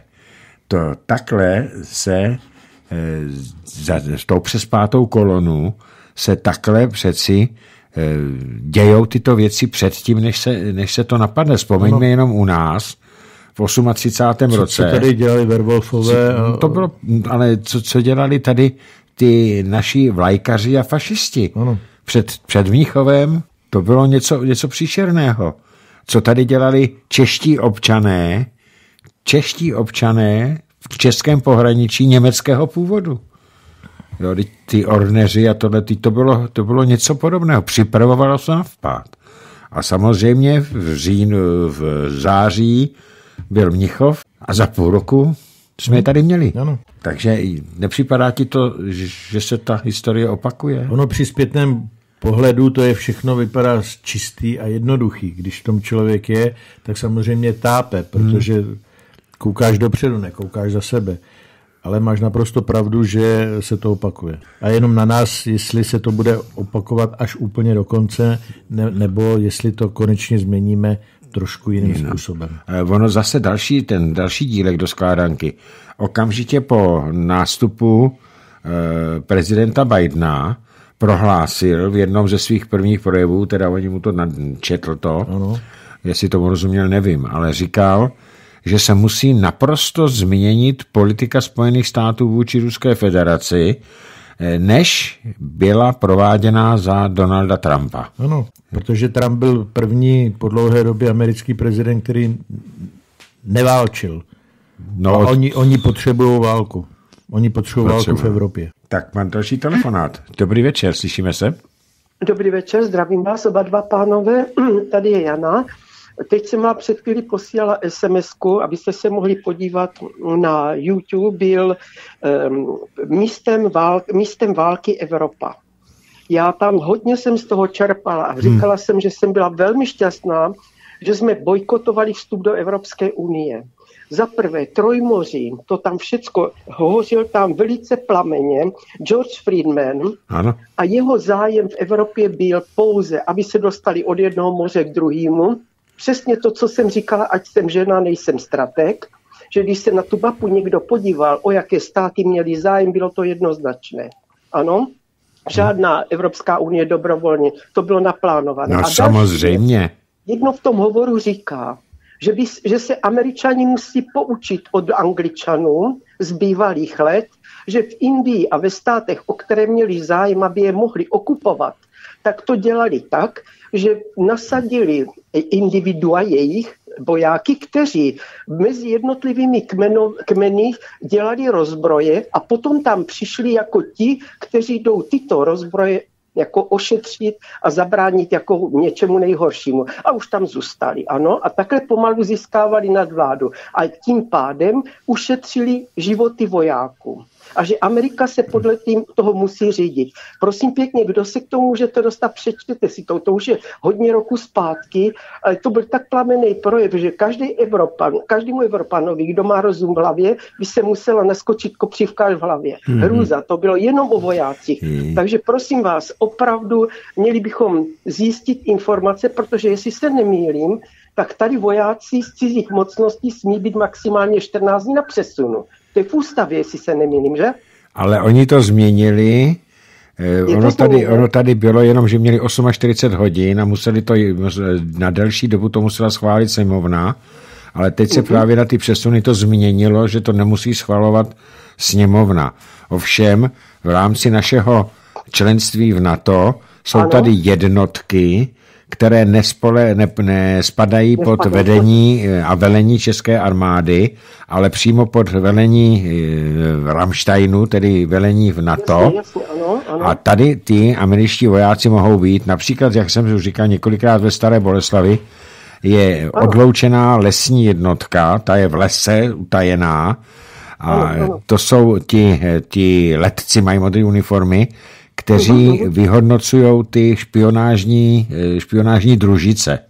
Ano, a tam celou tu dobu, už co já to vím, tak to je tak deset let, tak slouží američtí vojáci. V rámci jednotek NATO. Pane Kapale, ale stále si myslím jednu věc.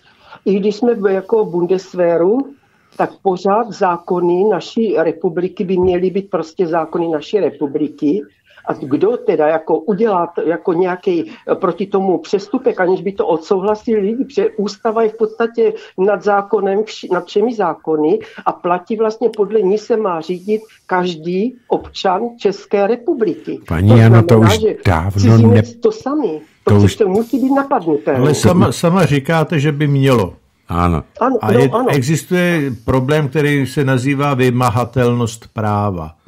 No. To, že by mělo něco, je sice fajn, ale pokud není síla, která to vymůže, tak je to pořád jenom cár papíru. Tak a vemme no. si ten uh, nouzový no, stav. No, nouzový stav. Pana Fiš, pardon, pardon. Ten, post, ten no, nouzový stav ano. sněmovna zamítla. A co udělal Babiša vláda? Domluvila se s hejtmany naprosto neústavně, a vyhlásili a to na požadav a protizákonně a vyhlásili to eh, na, na poput hejtmanu. A nic se neděje. Příště to vyhlásí na poput eh, předsedy zahrádkářského kolony. Řeknu, toto ještě bych brala, že to je na území republiky a pro nás třeba k dobru, že opravdu se to přestane ta hrůza šířit. Toto bych omluvila i tak, ale mě vadí to, že tady šlapou po naší zemi cizáci, kteří ohrožují životy našich lidí. A když si poslechnete senátora uh, Fischera, neúspěšného hmm. kandidáta na prezidenta, chraň nás pábu, aby se tam dostal. To je šílenec. Ten je prostě, to je Ruso proti Rusku, ten kdyby to mohl, tak snad tam uh, bude pochodovat sám. Je to hmm. hrozné, hrozné. No, přeju hezký večera, ať se lidi rychle zbudí, nebo bude pozdě. Přesně tak, nashledanou. Já bych ještě dodal, Ivane, co ty říkáš na to, eh, teď je to trošku jiného toho, ale navazuju na paní Janu. Eh, kdyby se, nedej bože, dostal na premiéra na podzim Pirát, Babi, Pirát Bartoš a byla vysložená vláda z takových lidí, jako je, jsou Piráti, ODS, TOP 09 a těli ty výtači. Umíš si představit, co by tady, co by tady bylo? Naprosto přesně. Řeknu ti, že buď ty mě nebo já tobě bychom drželi místo na Borech nebo na Pankráci. Já taky, já jsem už to tady prohlásil. Pokud vyhrajou Piráti, tak první, co bude, že naprosto striktně zakážou a zruší veškeré vlastenecké weby, včetně Soborného rádia. Takhle to dopadne. A za druhé, to už prohlásila nějaká ta jejich poslankyně, aby prohlasoval to i ten ten eh, poslanec Ferry, takže Česká republika by tady uživila spoustu, spoustu eh, migrantů a že ano. je vostuda, že je sem nebereme. A oni by si to místo udělali tím, že by samozřejmě navočkovali všechny důchodce tím správným koktejlem a tím by si vytvořili dostatek prostoru. Proto taky umírá tolik lidí. Ano. Například v těch eh, vrchlabí očkovali ty, duch, ty, ty, ty, ty, ty seniory a polovina jich zemřela. Máme tady další telefonát. Dobrý večer, Pepo. Eh, dobrý večer, eh, vážení přátelé, zdravím, vážený pane Kapale, zdravím rodinu Svobodného rádia, zdravím pane podplukovníku Kratochvíle. Dobrý večer, Pepo. Dobrý večer. Je to šílená doba. My už jsme to tady říkali.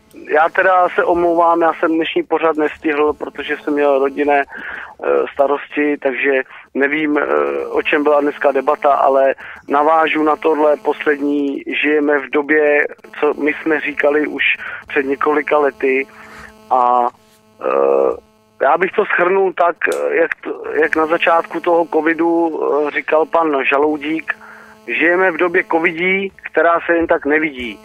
Jo? A opravdu je to šílený, co se s náma děje a hlavně mě nejvíc mrzí to testování v těch uh, fabrikách. Jo, protože tam je jenom nějaký 1% nebo 1,3% jakoby pozitivních. Ale oni ty lidi, lidi testují uh, dvakrát do týdne, do té doby, dokud nebudou pozitivní. No. Jo, a, Bůh ví, a Bůh ví, co jim tam ještě zanášejí uh, každý týden do toho nosu.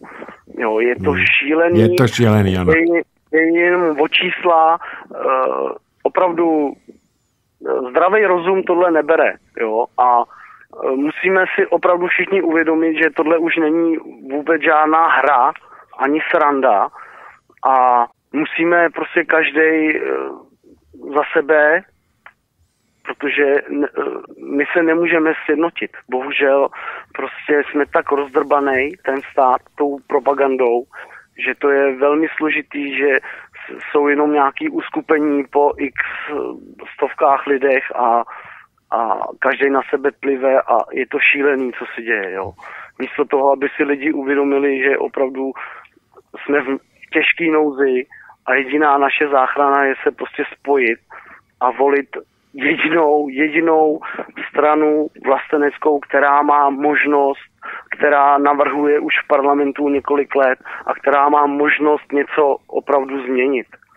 Jo, a to je SPD.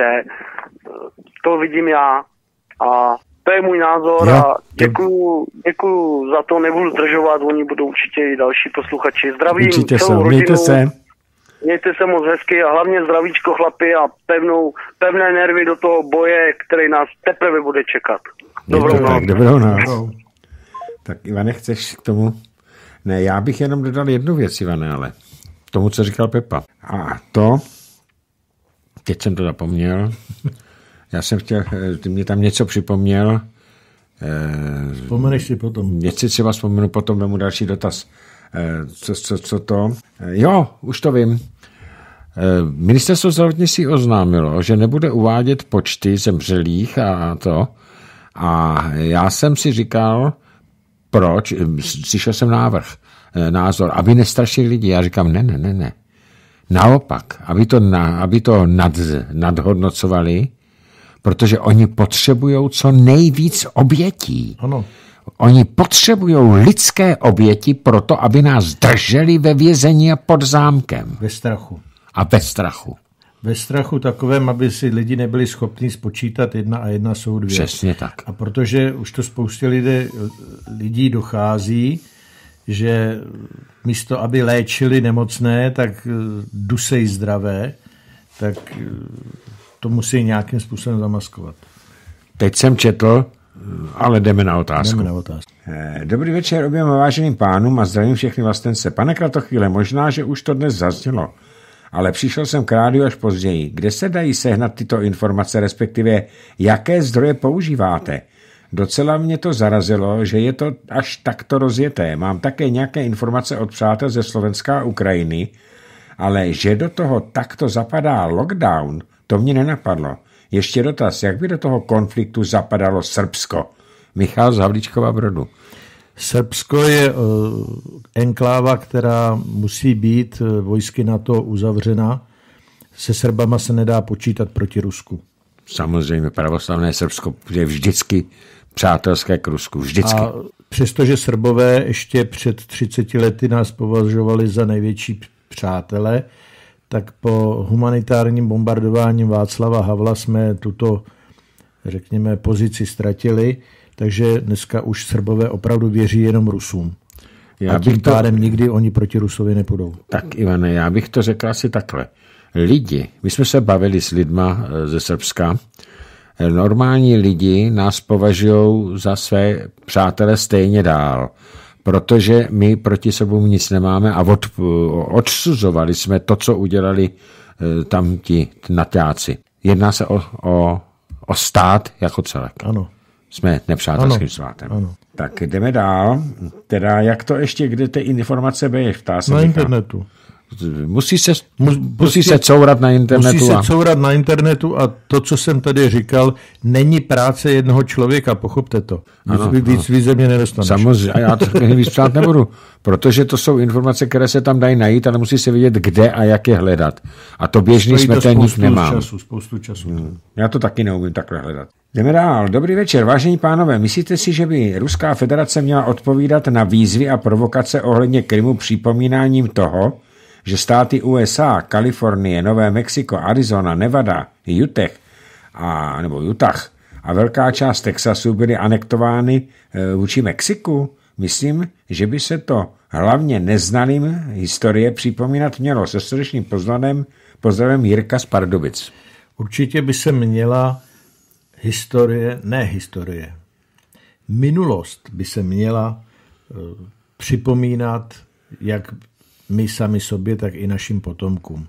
Protože zkreslováním minulosti vytváříme historii, to znamená příběh někoho tak, jak jemu to vyhovuje. To je rozdíl mezi dějinama a mezi historií. Historie his story, jeho příběh. To není pravda.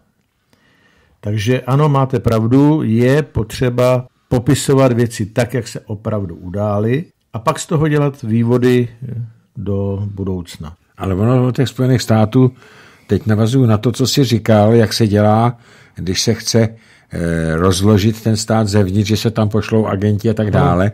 No teď nic jiného, prosím vás, nedělali eh, Spojené státy eh, v otázce indiánských no. válek. Oni tam štvali jeden kmen proti druhým, druhým kmenu, takže ty kmeny indiánské, které se mm, mohli spojit a bojovat jednotně proti těm Američanům, bylo jich víc než těch amerických vojáků tam, tak oni se mydlili mezi sebou. Ano. Mydlili a, a kde se to nestačilo, tak jim dali nakažený deky. A nebo jim tam poslali ohnivou vodu, protože tak. indiáni geneticky nesnášeli, že jo? Nebyli schopni rozložit. Ano. No. Takže to dělali američani od jak živa tohleto. Nehledě na to, pane Jirko Spardubic a vy, vážení posluchači ostatní, eh, najděte si v našem archivu mm, cyklus pořadů 200 let americké agrese. Je tam, já jsem tam popisoval podrobně všechny agrese za 200 let existence Spojených států a všude tam 200 let oni žili na úkor toho, že napadali jiné státy. Je to tam popsáno jednotlivá agrese, včetně komentářů, které se dali k tomu získat. Je to velice poučné a je to v našem archivu. Znovu opakuju, 200 let americké agrese se to mhm. jmenuje. Tak a další, Ivane, co říkáš na to, eh, tady zase Kirkovi, kolik má Amerika v prstenci kolem Ruské federace eh, základen, kolik má základen vojenských na světě a kolik jich má Rusko? A nejen vojenských, ale když se jsme narazili na ten covid, tak v podstatě v každé postsovětské zemi je výzkumné pracoviště, které se zabývá právě genetikou a biologickýma zbraněma. Tak, ano.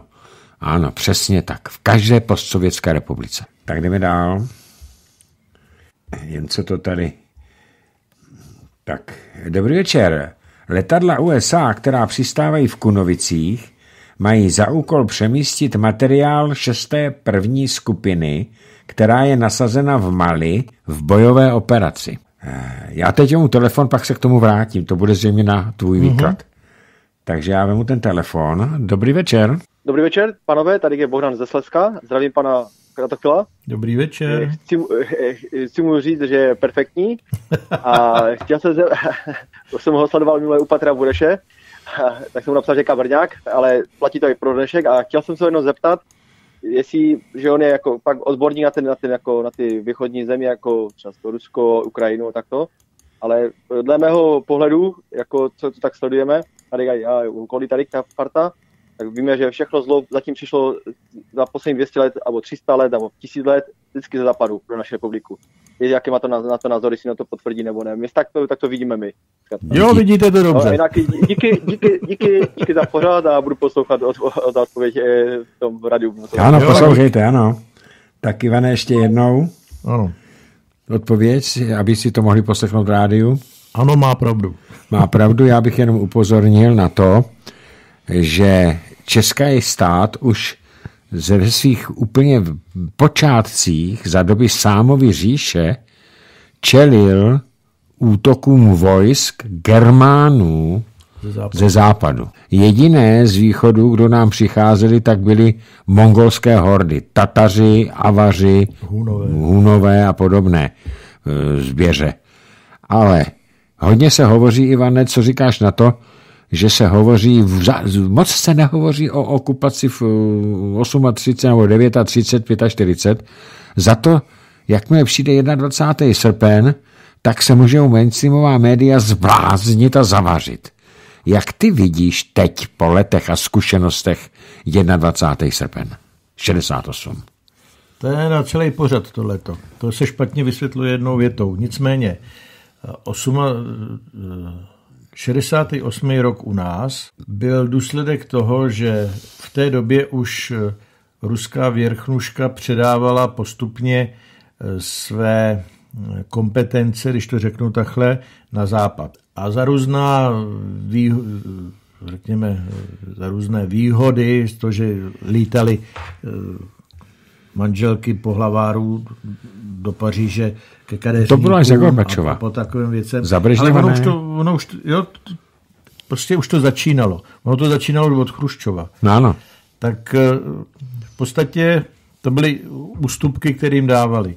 Nicméně jim v 68. došlo, že když nechají Prahu, aby se dostala do sféry vlivu Spojených států, takže v tom okamžiku to prohrajou i u vlastního obyvatelstva, že to bude tak obrovská ztráta, že si to nemůžou dovolit.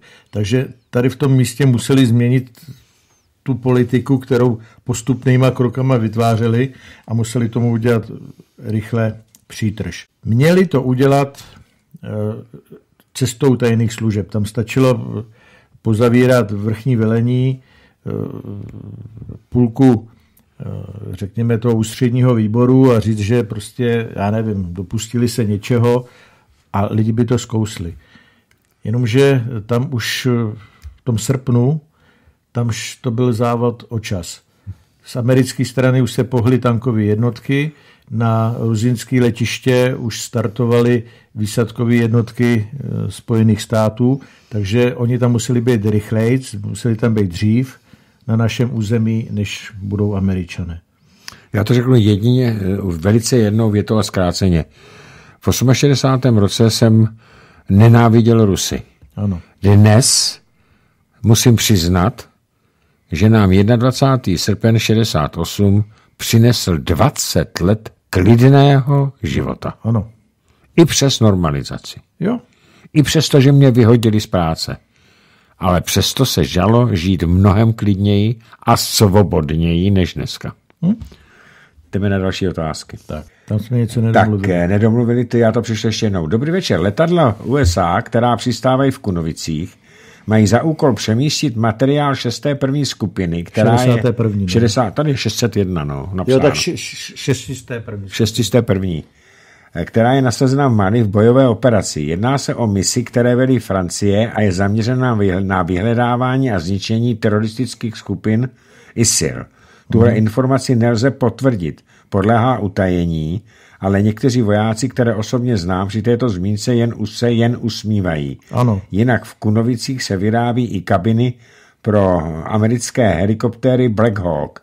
Zdravím pana Kapala a pana Kratochvíla, Pavel z Pardubic. Pavle, díky. Ještě už jsem měl strach, ale nicméně ty úsměvy, přidám se k těm úsměvům, protože pokud je to 601. skupina naše, která působí v Mali, tak proč by zásobování pro tuto skupinu probíhalo ze soukromého letiště eh, Kunovické... A nikoli z vojenského a letiště. Vojenských leti... Tak. Ano. A nebo v Čáslavi. A nebo v Čáslavi. Tak je to divný, ano. Nicméně... Jedna otázka za druhou schválně nebudu odpovídat, už jsem dneska toho řekl příliš. Na druhou stranu, eh, jak ty se díváš na zahraniční mise našich armád, našich vojáků? Úloha armády České republiky je obrana nedotknutelnosti území a celistvosti a její uh, suverenity. Nechápu, jaké území České republiky armáda České republiky střeží a brání v Mali. Nebo v Afganistánu. Nebo v Afganita, Afganistánu. Nebo v Sýrii, nebo, nebo v, v Sýrii. kde jsme byli. Ano, na základě mezistátních smluv je to možné nějaké takové ty mise dělat. Nicméně prioritně je třeba zabezpečit nedotknutelnost našeho území. Zeptám se, opravdu armáda České republiky zajišťuje nedotknutelnost území České republiky? Ani náhodou.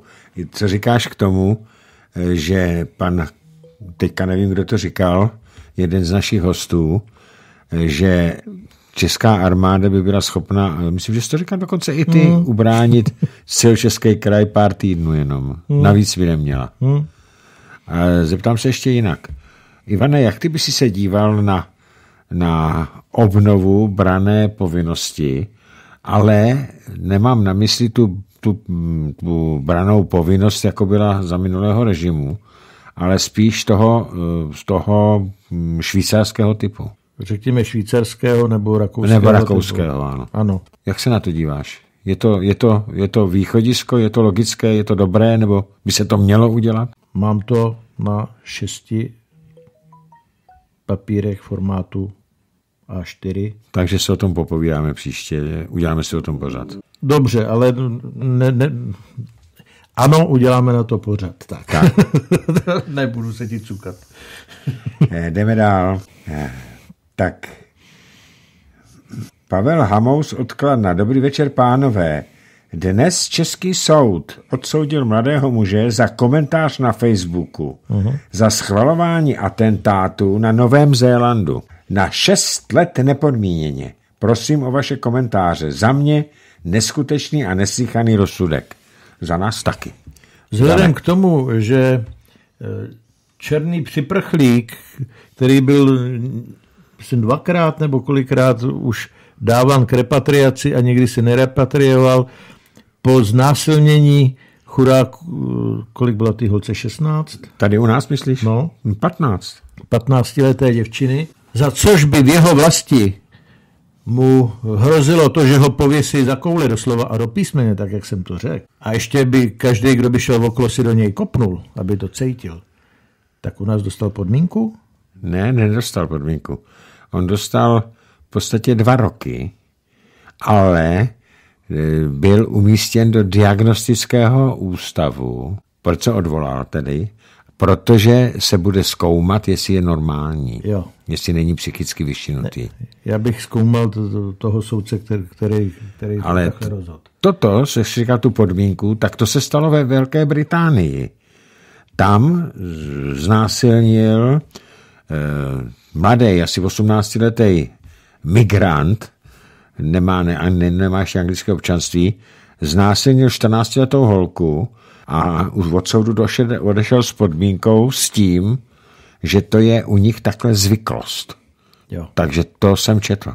No, takže já bych mu spíš připomněl tu zvyklost s tím pověšením jo. za vajíčka. Tak, uh, Ivane, ještě jednu věc, co jsem četl teď o přestávce. Ve Francii zpřísnili zákon hm, o sexu s mladistvými. Teď to schválili eh, na návrh Senátu vláda, nebo parlament. Oni tam do té doby vůbec netrestali sex s nezletilými a je tam povolený incest.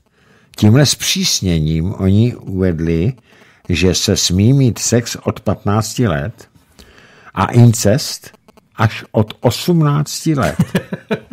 Ale zároveň jsem tam četl, že jestliže nebude starší ten kluk, který bude e, souložit s dět, holkou pod 15 let o víc jak 5 let, to znamená, když tam bude eh, s 12-letou holkou 16-letý eh, kluk, tak jsou beztrestný. Musí být starší víc o pět let. Já jsem to vůbec netušil, že ve Francii je povolený incest. A je, a že to těka to kvůli k muslimům zpřísnili, jo. Ale i tak. Ale já ti můžu uklidnit, ten zákon dlouho platit nebude, protože eh, nejmilovanější Mohamedova žena Aisha měla 9 let když si ho brala. Ne, ne, ona si ho brala v šesti letech, ale, deví... ale on byl tak ohleduplný, se psalo. Až, až devíti letech ji učinil ženou. Ano, ano, ano, ano. Jdeme na, na další otázky. Eh, dobrý večer. Pane Kratochvíle, už i některý policisté ten zákrok narušených zaklekávačů z Budějovic označují za hamáčku fašismus. Kam myslíte, že to povede? Chyba byla po volbách, že socany pustili ke korytům. To byla velká chyba. Pěkný večer, Marian K. ze Severní Moravy. Mariane, zklamu vás. To, že se soceni dostali ke eh, korytu. ke korytu a nejenom oni, ale i Topka a starostové, nebyla chyba, ale byl to záměr, kvůli kterému eh, prasklo potrubí ve, statickém, ve, Českém statistickém úřadu. Byl to záměr. Aby vypadl ten internet. Ne, vlastně to bylo předtím, takže teď vypad internet. Ano, teď vypad při internet. Vol, volbách vypad internet, při, při druhých volbách vy, vytekla voda. Voda a tak dále, no. Jo, takže... Ale já bych to řekl ještě takhle, Ivane. A není to vina voličů? Ale Kdyby ty voliči, ty socany nevolili, aby dostali 7%. Ale oni, a ti volili nebo nevolili, je to jedno. Oni je tam, Stejně oni, ten oni je tam instalovali. Úřad, to tam změnil. Mm-hmm. Jako to, co se provedlo s Dominiem eh, při volbách amerických loni, to odstavení Trumpa nebylo nic jiného, než v podstatě to, co se provádělo tady už desetiletí. No a já v podstatě jsem... od okamžiku, kdy zrušili sčítací a kontrolní krajský a okresní komise, tak jsou ty volby v podstatě neregulární. Ale to můžu říkat já jako soukromá osoba, nej, nejsem eh, státní. Tak ale kam to povede? Ještě ta otázka, No, vede to, vede to tam, kam, kam jdeme, k fašismu. fašismu. Popsal jste to, pane Mariane, dobře. Ale víte, ještě, my jsme se o tom taky bavili, Ivane, některý policajti e, to buzaraci berou rozumně a kašlou na to a pak jsou tam vždycky nějaké zrůdy, které se nad tím vyžívají. Aktivní blbec je horší než třídní nepřítel. To mi říkal starý politik, když jsem nastoupil k armádě a jak je vidět, platí to za jakéhokoliv režimu.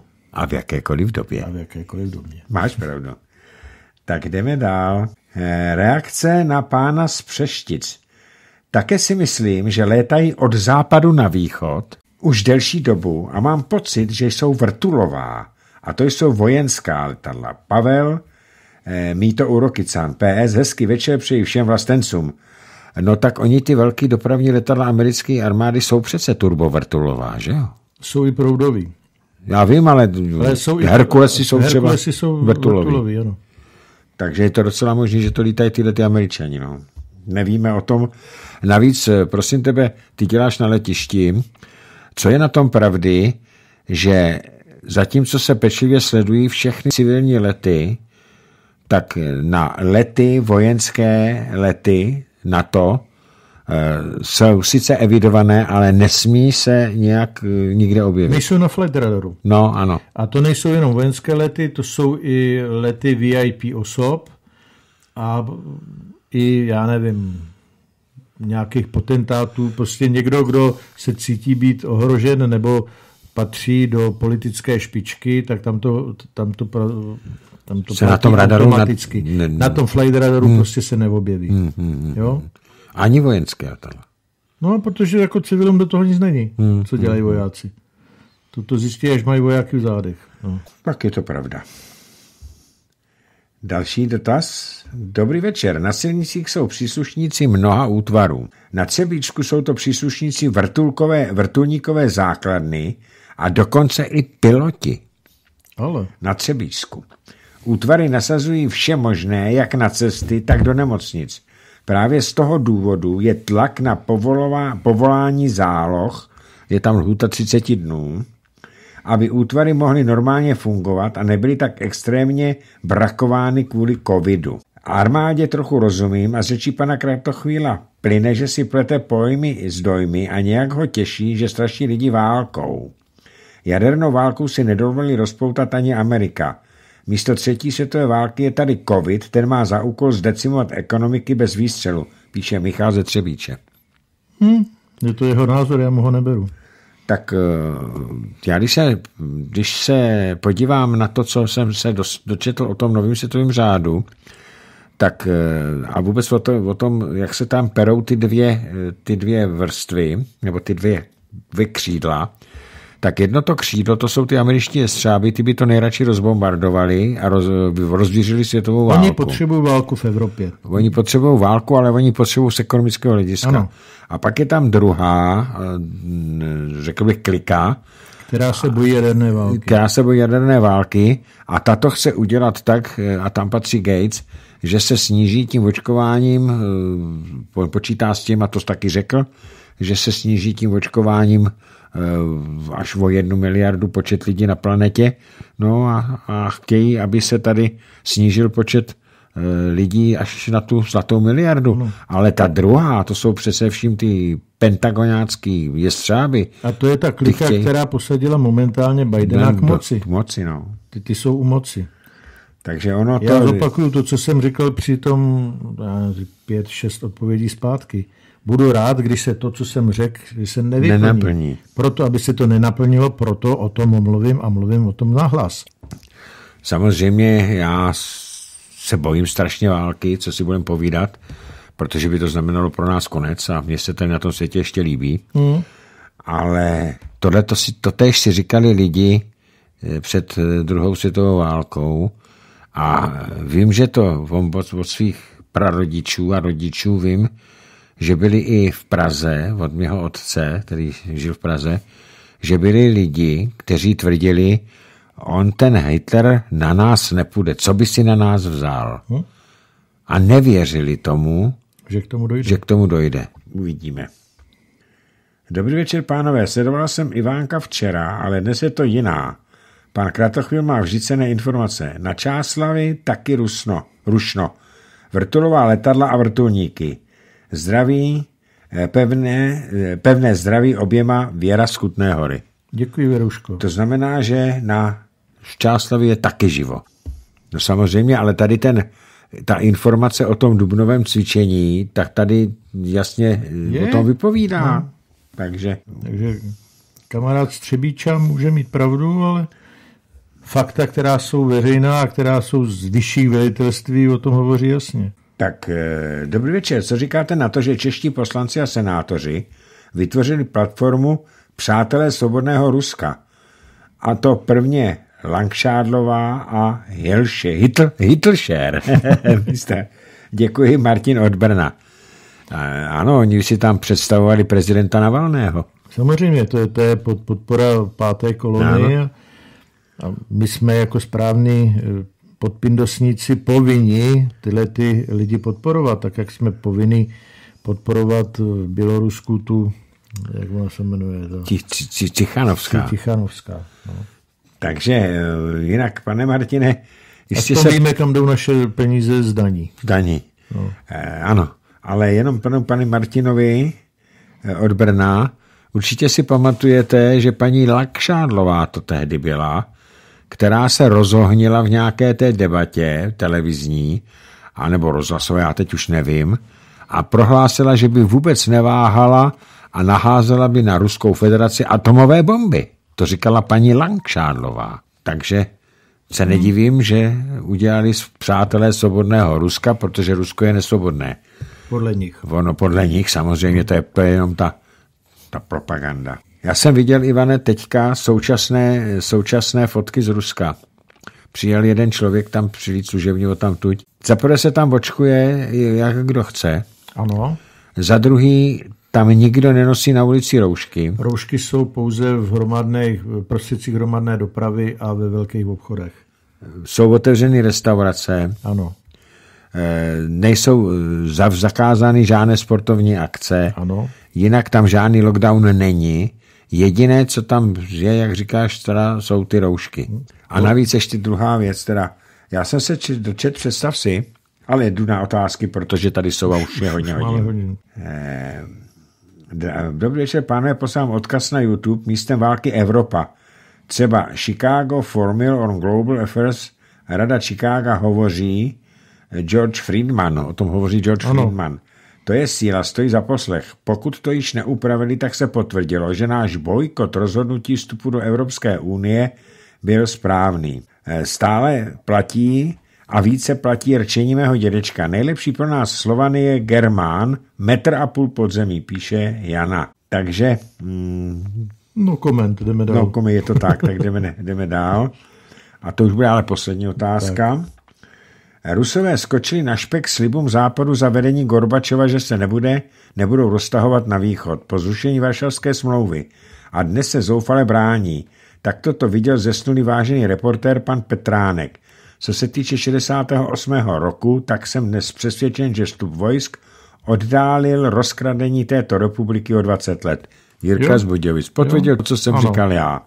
A jinak, co se týče, Ivane, eh, co se týče toho, toho Gorbačova. No, Gorbačov eh, věřil podání ruky, že mu slíbili, že se nebude na to rozšiřovat, ale to bylo přece dávno všechno domluvené, teď Gorbačov byl jejich Gorbačov, agent. Gorbačov byl poslední v řadě těch, co likvidovali. Počínaje Chruščovem. Ano. Ale ono už třetím počínaje Trockým, když to tak vememe.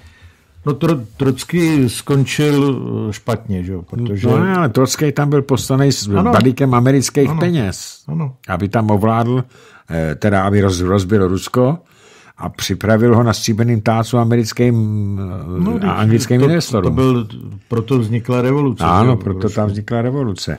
O tom ale tady právě teďka čtu v té skvělé knižce. O tom si můžeme popovídat v jiném pořadu. Jiřího Šifrina Bůh synergie. Mm-hmm. Tak vážení přátelé, eh, já se omlouvám, že nevemu všechny, že jsme nestihli všechny ty otázky, které jste tady posílali. Ano, v každém pořadu jich je tolik, že to nestihneme a to jsem se snažil být rychlý. A měl jsem spoustu připomínek, ale radši jsem byl ticho. Takže my se musíme už rozloučit. Ivane, díky, že jsi si udělal čas a že jsme si tady mohli popovídat.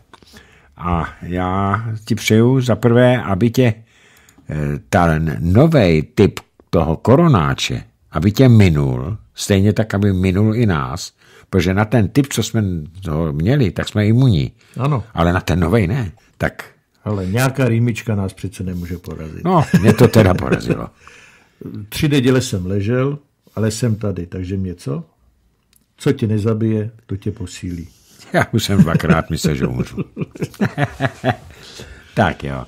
Vážení přátelé, to bylo dnešní povídání s eh, podplukovníkem Ivanem Kratochvílem. Můžu poslední větu? Ano, můžeš. Lidičky, ať jsou informace jakékoliv, nezapomeňte, že to, proč jsme na světě, je vztah muže s ženou, muže a ženy s dětmi, který je prosvícen láskou, pohodou, přátelstvím. Takže pánové, obejměte to nejcennější, co máte, to jsou vaše ženy a polipte. Dobrou noc. Dobrou noc.